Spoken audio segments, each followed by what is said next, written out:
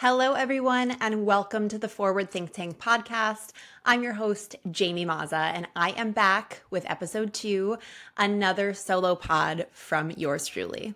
And if you're new to the podcast, what I am talking about here is my healing journey. So I was diagnosed with a rare thymic tumor and also an autoimmune disorder, myasthenia gravis, almost a year ago. And honestly, it came to a total, uh, came as a total shock to me and, of course, my loved ones because everybody knew me as the health coach, as the fitness instructor, as somebody who ate really healthy and, you know, took care of themselves and did all the right things. So, how did somebody like me at the young age of 36 wind up with a diagnosis like this? So, I want to spend some time in episode two, retracing my steps. And I'm not doing this in a way to make myself feel neurotic because so many people, especially the ones closest to me, asked me when we found this, you know, what do you think caused it? Or where do you think this came from? And truthfully, this may be an answer that we never get to the bottom of. But I want to take you back, you know, maybe 10 years ago to 20 year old Jamie, um, because I do spend time thinking about this and not to a point of, you know, regret or shame or driving myself crazy.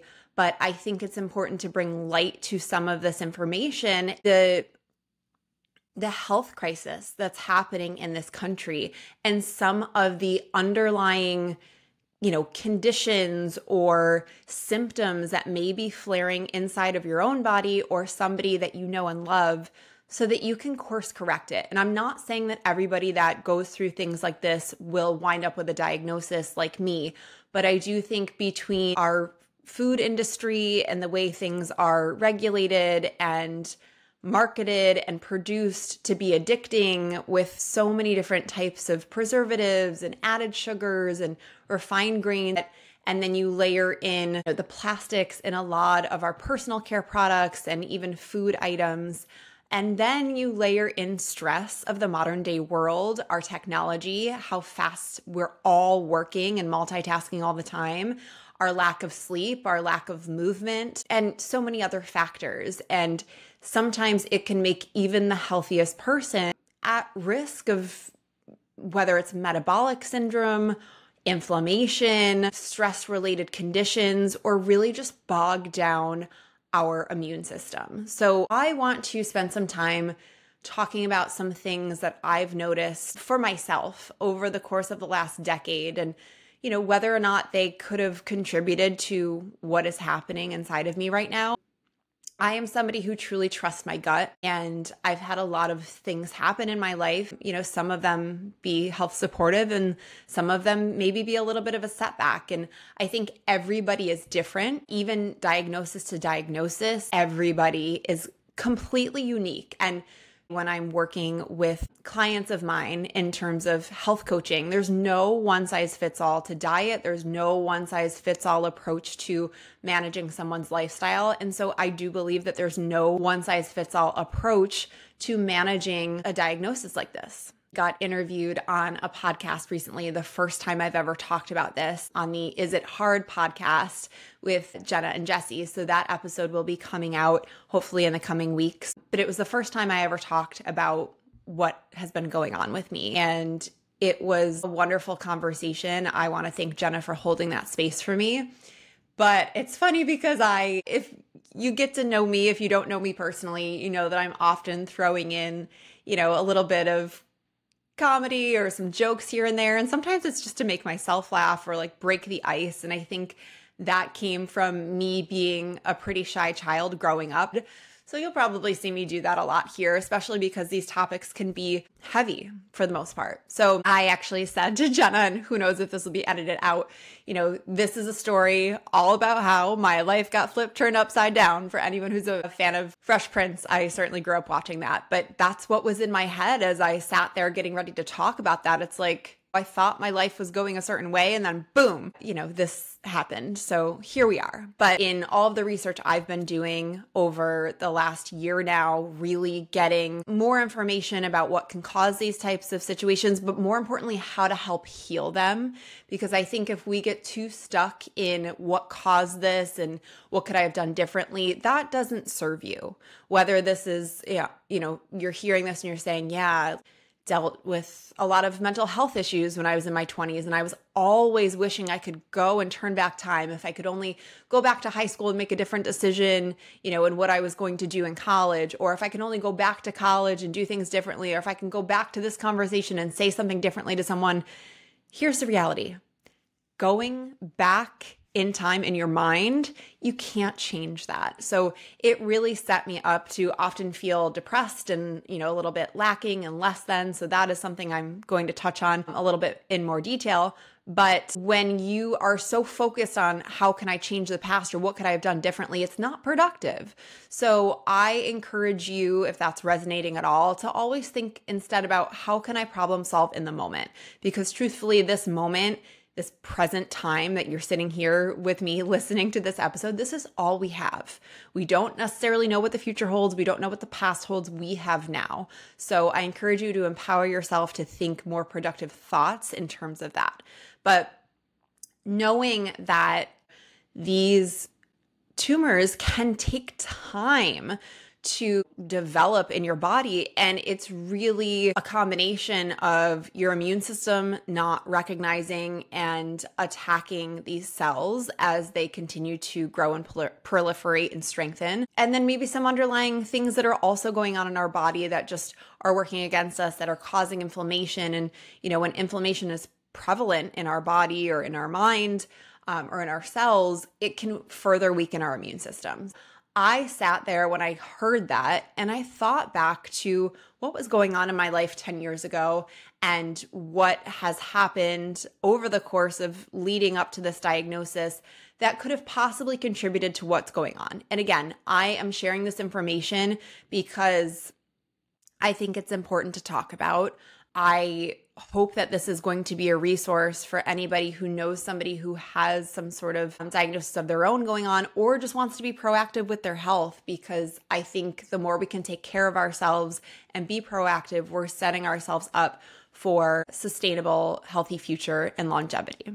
So, when I think back to my 20s, a few things come to mind. And again, this is thinking of the connection to inflammation. Now, Short term acute inflammation is important. It's how our body heals itself. So, for example, if you were to get a paper cut on your finger, inflammation is going to surge to that finger of yours and it's going to maybe swell up a little bit, get a little bit warm, get a little bit red, and your immune system is going to send a response and a reaction to that finger and help it to heal. So, short term acute inflammation is necessary and important. But when chronic inflammation is running in your body, and that could be mental health related, it could be from stress, it could be hormone related, it could be, um, you know, some metabolic dysfunction. It could be your immune system is, you know, downregulated. That is when a host of other issues can present themselves. So when I think back to 10 years ago, the first thing that comes to my mind is I was somebody who always struggled with acne.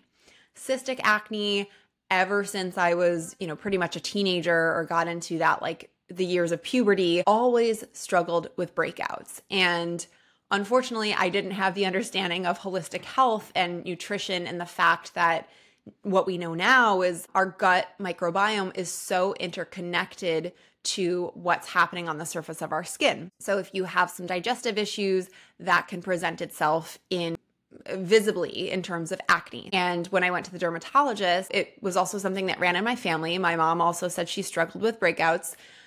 What they did is they want to band aid the issue, or, you know, of course they want to help the issue. But I think looking back in terms of what that did to kind of set me back is I was prescribed antibiotics. I was prescribed every topical gel, pill, cream you could ever imagine.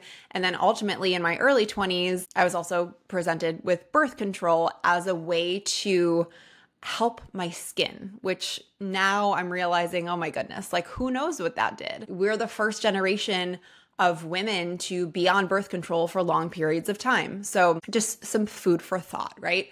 So, I was on all these different medications, all these different antibiotics. We know now that antibiotics can definitely do a number on our gut microbiome.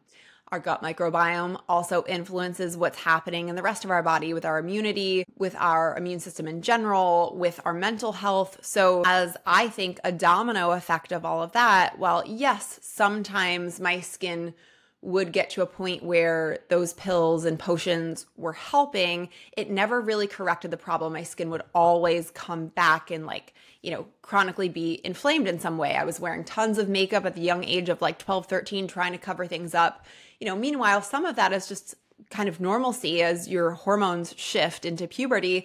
And then the other piece of it could have been, well, what else is going on behind the scenes? I grew up um, you know, I am a big mutt in terms of like all the European countries. My mom's side is Italian and Greek. My dad's side is French, English, German, and like we came to find out like a little bit Irish. So I'm definitely a combination of different European backgrounds. But I would say, in terms of how my family ate, we definitely ate uh, a lot of Italian food. I grew up going to my grandma's almost every Sunday. We would do pasta. There was a lot of bagels, bread, all of that in my household all the time, you know, cereals, all the things. And we just didn't know then what we know now about food and also the way that this country manufactures food has dramatically changed from the way that our ancestors were eating it.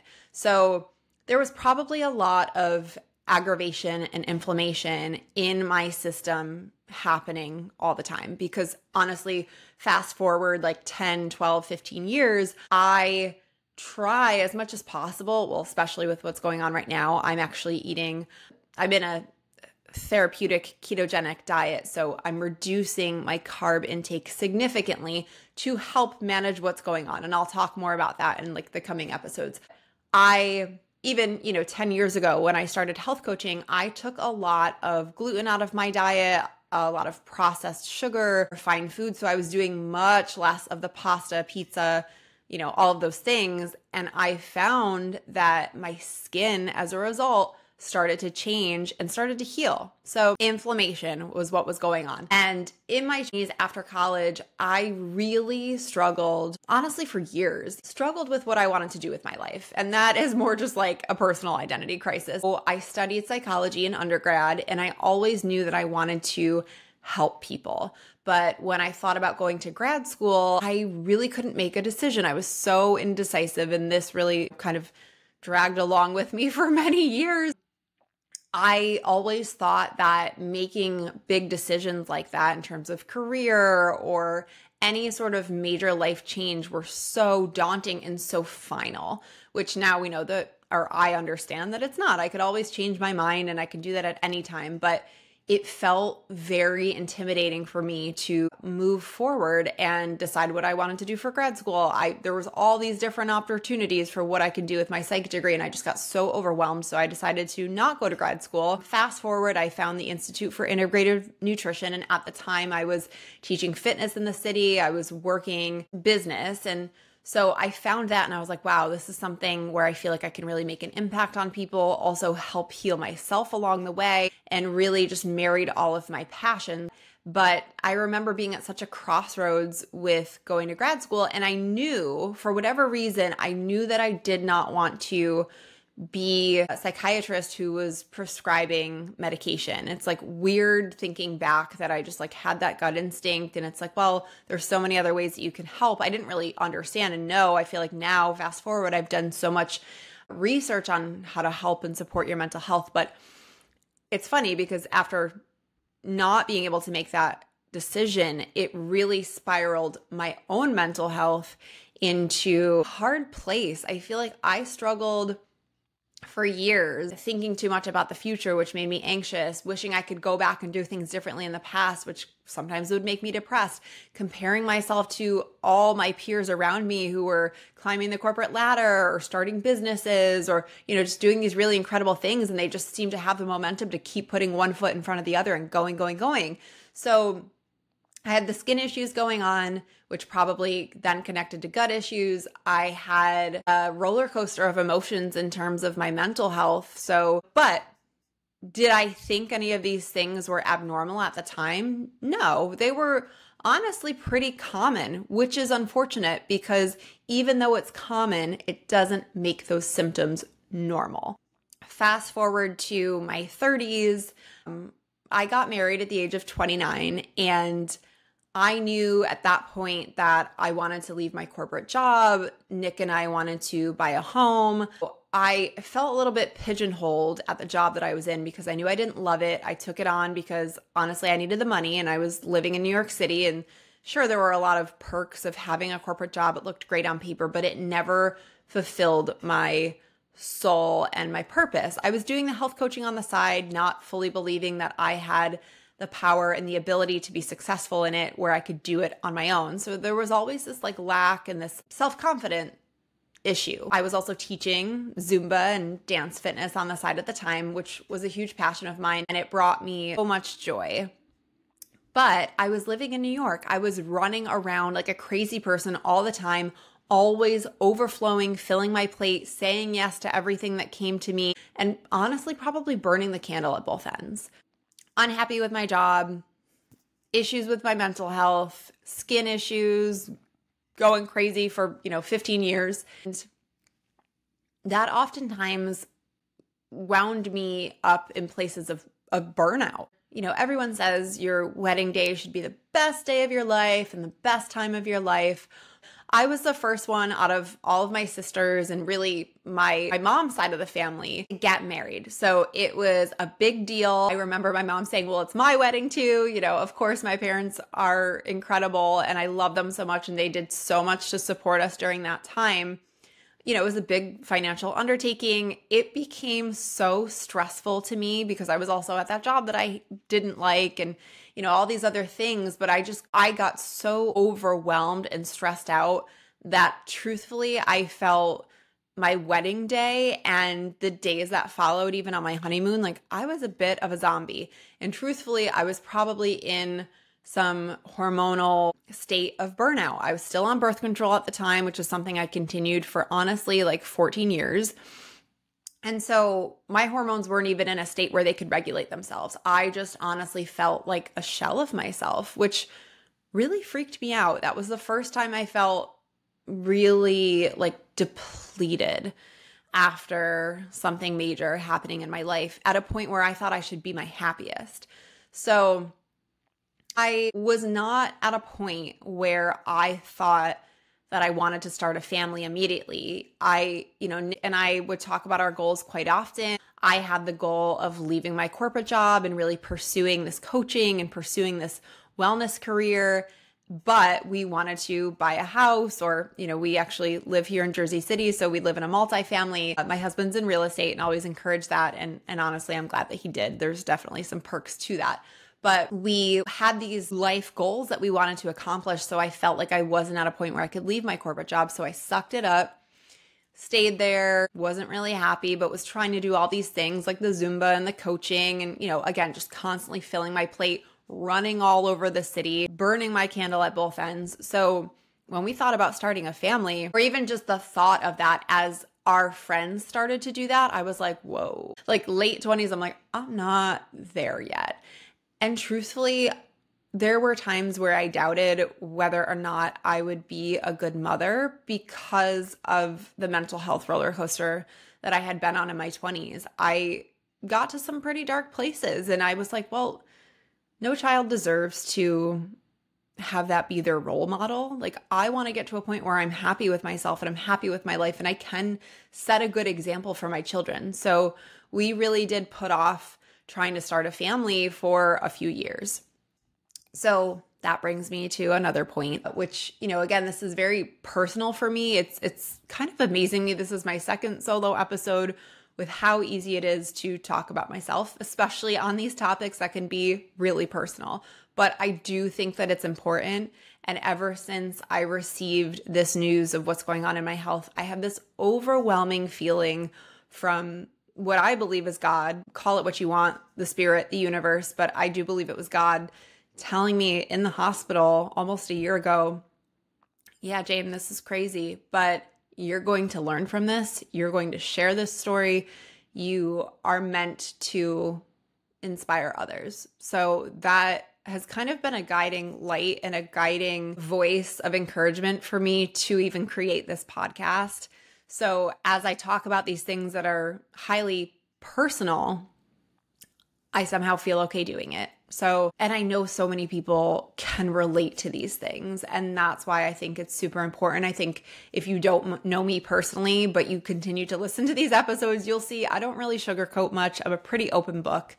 So I hope that this helps people who are going through similar things find comfort in knowing that they're not alone, but also helps you maybe recognize that, yeah, I've got some of these things going on. So I want to make sure I can take care of myself and be proactive and help my body heal. So we got to the point around the pandemic where I remember the entire world just shut down. We all experienced it. I was no longer having to go into the city to work my corporate job was kind of just like, oh my God, what am I doing with my life? Like, we all thought it was going to be two weeks, right? So I'm like, yay, let's have fun. And I'm going to continue to like coach on the side. And I was teaching some corporate workshops around wellness and it was all fun.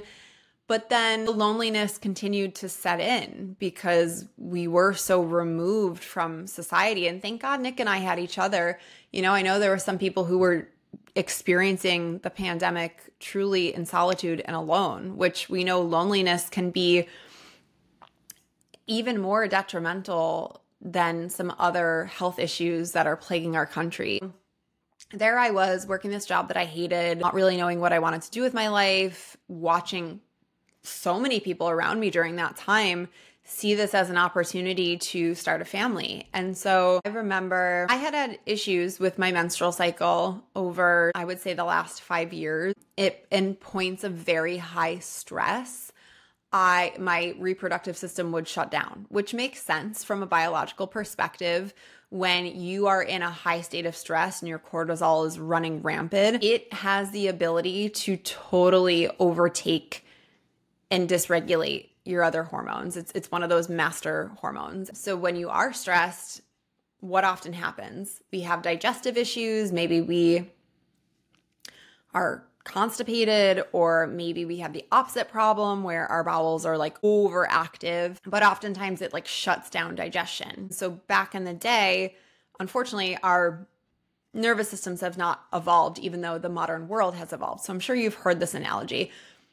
Fight or flight mode when we were cave people and we received a threat in the form of maybe like a lion coming to attack us, we had to either flee or fight. So your body is at a point where the adrenaline rush gets sent to your system and prepares you to either flee or fight. And fast forward to the modern world, and that may not look like a tiger coming to attack you, but that may be you walking across the street and a car who's not paying attention comes up and almost hits you, sends this chain reaction of, um, you know, nervous system dysregulation, or that could be the form of your boss pinging you Slack or getting constantly interrupted with group messages and notifications or, you know, whatever else is happening that's causing stress in our modern world. Our body doesn't know any different. So biologically, it's going to react the same and your body is going to prepare to fight or flee we're in a state of perceived stress. So I had had some issues with my menstrual cycle uh, when I was in extreme straits extreme states of stress where my reproductive health would shut down and I wouldn't get my period. So it was something that I thought I had regulated with the help of acupuncture. Hopefully, in a future episode, you will see me talk to my wonderful friend. She's an incredible healer. I really think she is pure magic. Erin Kumpf, who I've been working with since 2019 to help uh, balance my hormones, help regulate my cycle, and help with a host of other things because I think acupuncture could help with pretty much anything. When we got to a point where we were like three or four months into it and my cycle started to shut down again. So then, fast forward a couple months later, I started experiencing really strange symptoms that I was like, oh my God, like what is happening in my body? I remember feeling like a trickle of sweat on my forehead. I was like, oh my God, am I having night sweats? You know, trouble with digestion. My skin started to get crazy again. So, all of these hormone related things were going on under the hood or, you know, coming out visibly on my skin. So I end up going to see primary care doctor, cherry pick some hormones and do some testing and find that my hormones are extremely out of whack. So that led me to going to see some fertility specialist and what they told me was that you know, your hormones are highly dysregulated. Certain things that should be low are high, certain things that should be high are low. They looked at my follicle count. At that point, I was 34 years old or had just turned 34, so like 33, 34. And things just weren't working right. Um, they were seeing a low follicle count for somebody who's my age. And that was really scary to hear because I, again, always thought I was someone who took care of myself, who didn't have to worry if I wanted to have kids later in life. And then I got smacked with this weird new reality. And then fast forward a little bit further into uh, January of 2021. And one of my best friends, um, and I, I do believe that this was a combination of struggles with mental health and also the solitude, being alone in the pandemic, she took her life.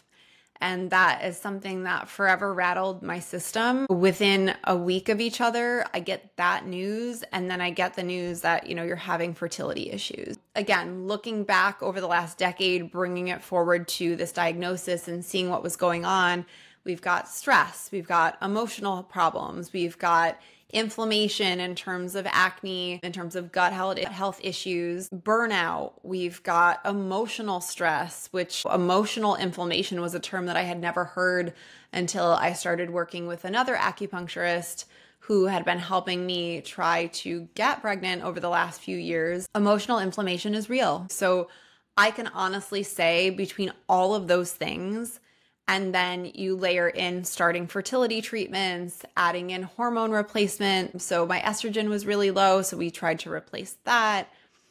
Come to find out, when I started working with my team of metabolic health doctors and naturopathic oncologists and started listening to some of the podcasts that Dr. Nasha Winters, who developed this metabolic approach to treating cancer, estrogen is part of the female reproductive system and that helps our follicles to mature every month. It helps babies to grow in the uterus. So I'm sitting there taking that likely had this all going on because this was only a couple years ago, likely had a the tumor already developed inside of me.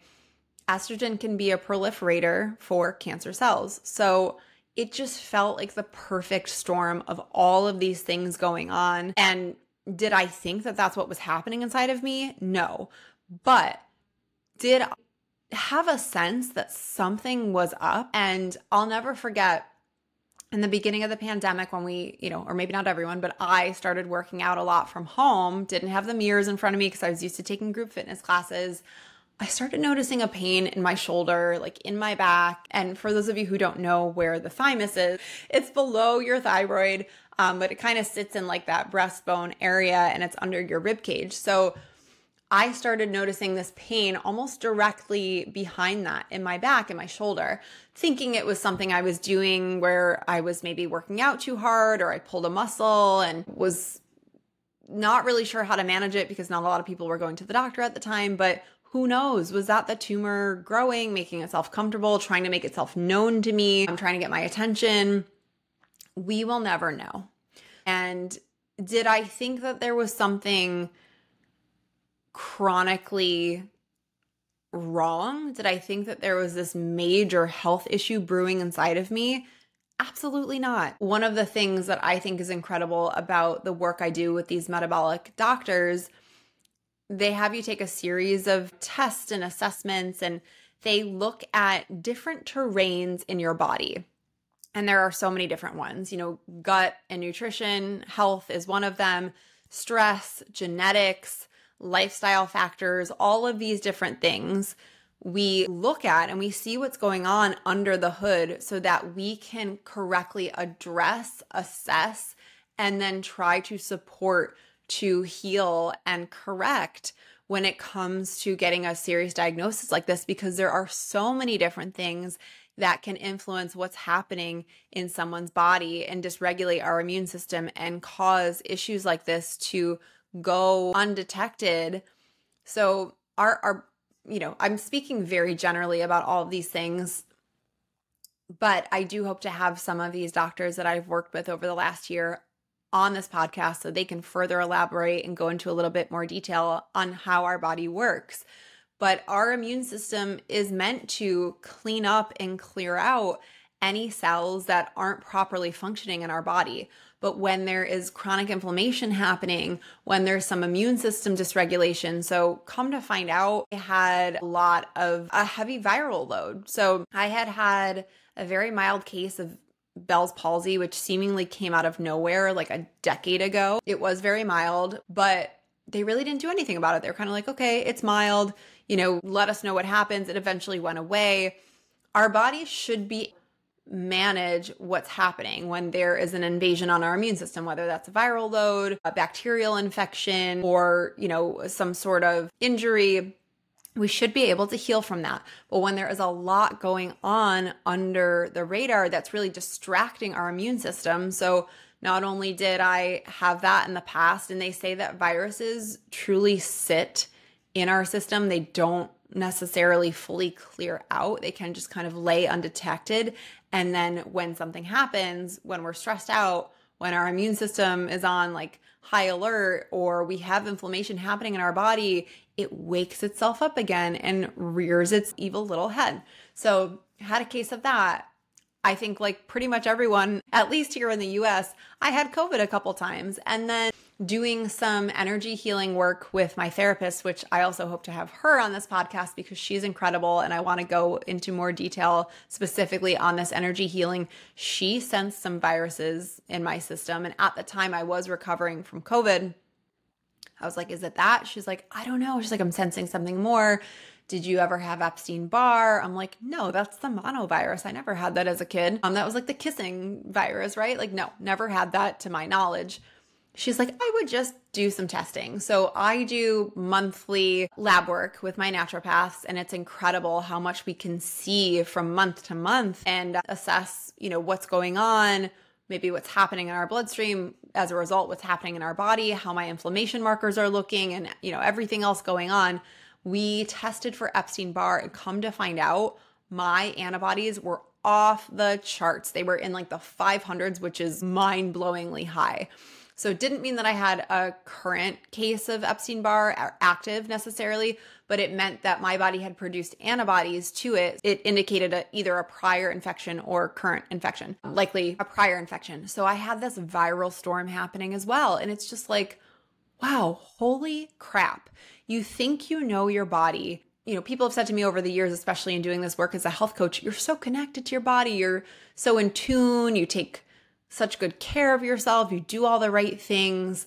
It almost made me feel when I got this diagnosis like I it felt like my body was like this foreign person that I had no idea existed. Like I had no idea that this was going on because I had zero symptoms. So typically a thymoma because of where is in your body, it sits close to your heart, sits close to your lungs. People can have symptoms such as coughs, wheezing, shortness of breath, chest pain, difficulty doing certain activities.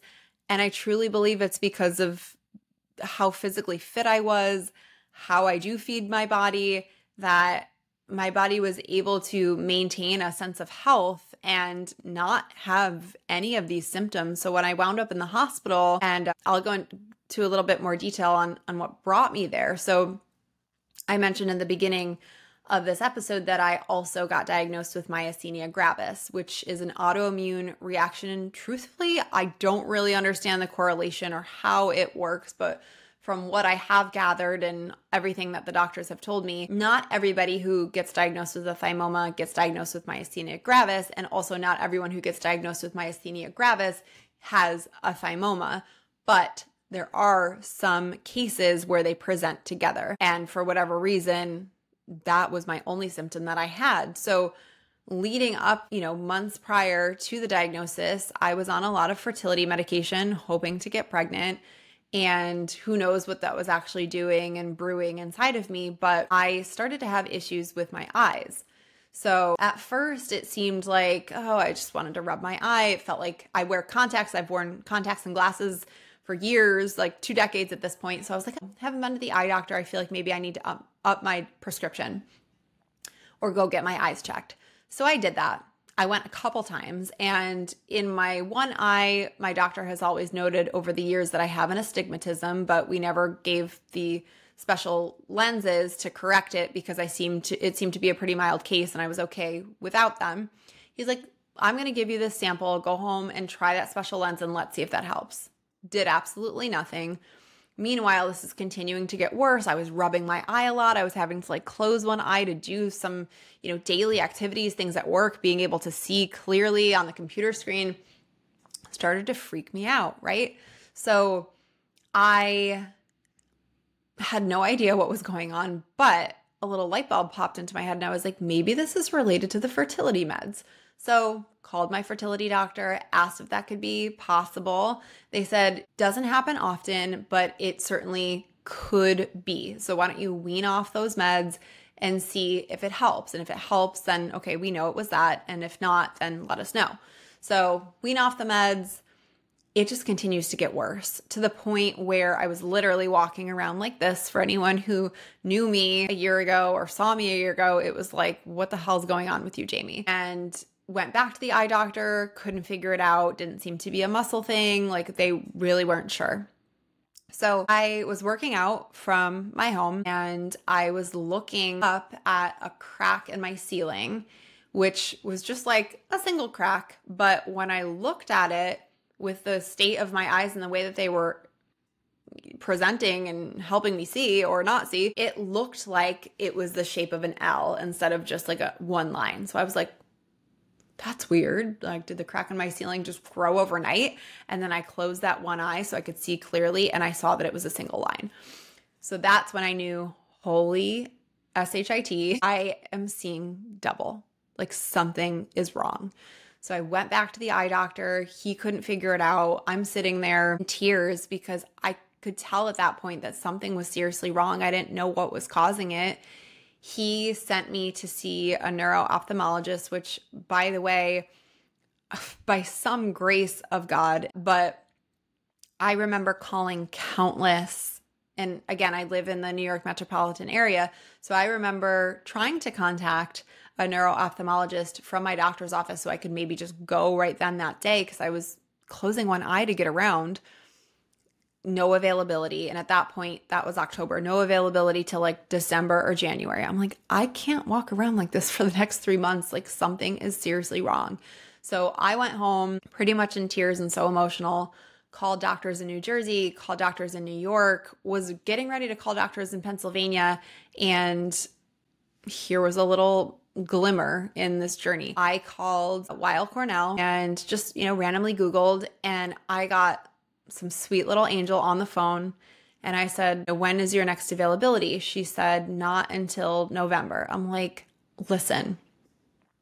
And this is where I fully support anyone who has something going on where you feel like you have a symptom that needs to be addressed and it's not in your head and it's not normal to be an advocate for yourself and speak up. I said, Listen, I am having double vision. I am walking around with one eye open to do my daily activities something is seriously wrong. Is there any way that you might be able to find an appointment for me sooner? And she was so sweet and she listened and she apologized and she said, Listen, let me find out.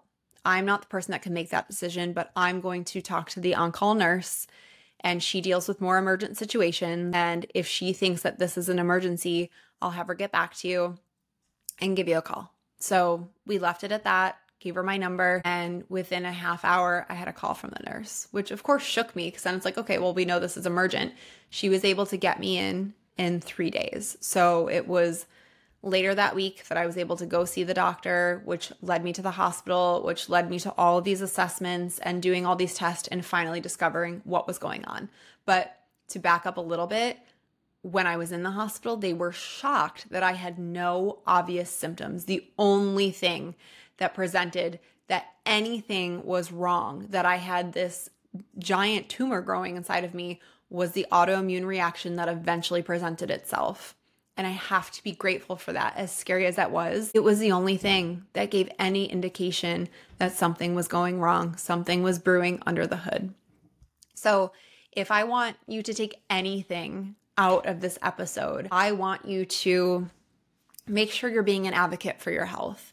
If you feel like something is wrong, and I just really aired out my dirty laundry, Jamie, what you doing? But you know, I spent some time thinking about these things. And I even remember saying to my husband when we were struggling with the fertility situation and trying to do all the things and still couldn't get to the bottom of what was dysregulating these hormones and making them high, low, and all over the place. I remember saying to him, or at least thinking, like, is something more serious wrong with me? And of course, we wanted to say no because I presented as a healthy person. But there are so many things that can be happening in our body that can get dysregulated from the modern world that we live in or use of antibiotics or use of over abuse, I think, of our modern food. And that can relate to digestive issues, which can cause, you know, a domino effect of a whole other things. If you're stressed, if you're burnt out, if you are having trouble with your hormones, having serious traumatic things happen in your life, these can all have an impact on how our body regulates. So I'm not, absolutely not sitting here saying, because you have one or two of these things, you need to be concerned that you have a diagnosis like me. But what I'm trying to do is share this information for anybody who needs to hear it, for anyone who feels like you have a symptom that you can tell is not normal for your body, even though the doctors may say, oh, nothing to worry about, or oh, we can do something about that.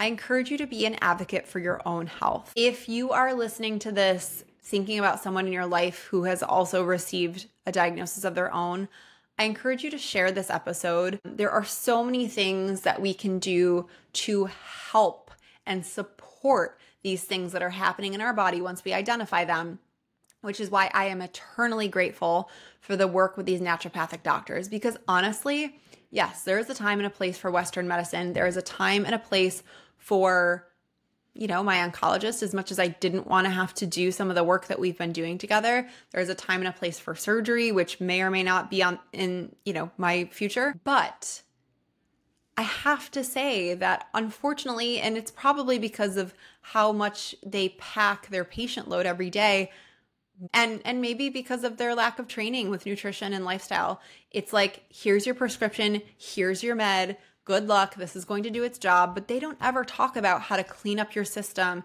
how to help support inflammation that's going on in your body how to make sure your hormones are regulated how to help with your digestion the right type of foods to eat to support your body when you're going through a healing process. And that is where i've found that these naturopathic doctors have been absolutely absolutely instrumental so important. Even as somebody who is aware of how to take care of my health, I think I've gotten such a schooling over the last year and I've dramatically changed so many things. And because we assess my blood work every month, we're seeing how that is affecting what's happening in my body. So I encourage you, if you're listening, to be an advocate for your health, to look kind of outside of the box of modern medicine and say, what else can I do to support my health and my lifestyle and allow my body to heal and recover?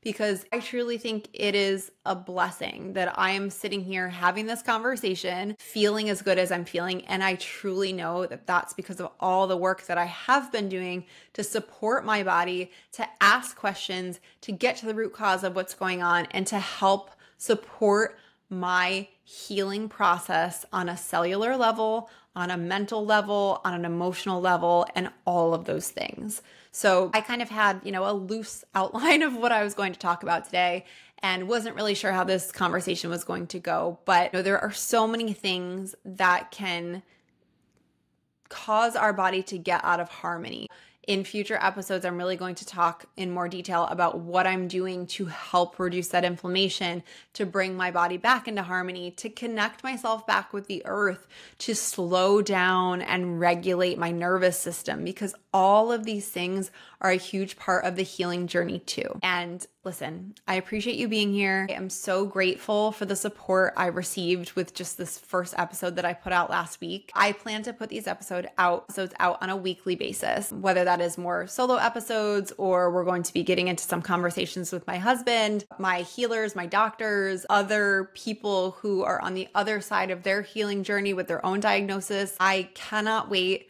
for these episodes to unfold. And I appreciate your support more than you know. So, because of all this happening, I've been working pretty part time while I'm solely focused on my healing as really what feels like two and a half full time jobs. So, putting this podcast out there has been incredibly important for me. I do believe it's part of my healing journey as well.